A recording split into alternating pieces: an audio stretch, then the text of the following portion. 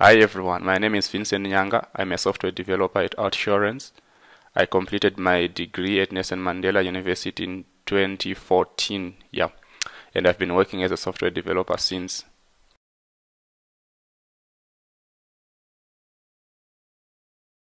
A career in software development is a great career because you get to do so many things that are important as you all know that computers rule the world these days. There are so many choices you have when you get the, a degree in computer science or related subject.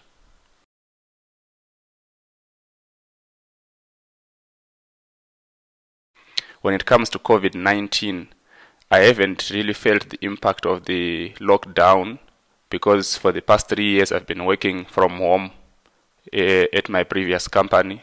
So, working from home has been what I've been doing for a, for, for a long time. So I didn't feel it as much, except that I, I just couldn't go out anytime I wanted.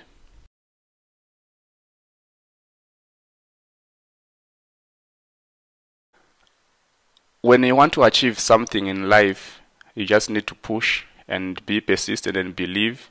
You know, there are certain times when things don't go your way, but you should always have focus. You know, I've had experiences where my finances were not uh, in order at university. But I kept on pushing because I believed at the end of it all, uh, I was going to see the light.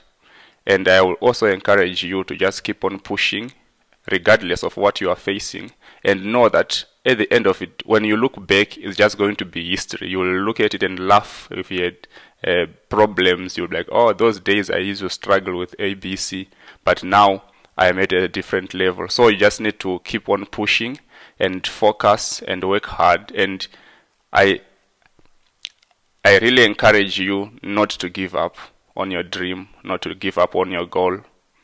Yeah, that will be all from me.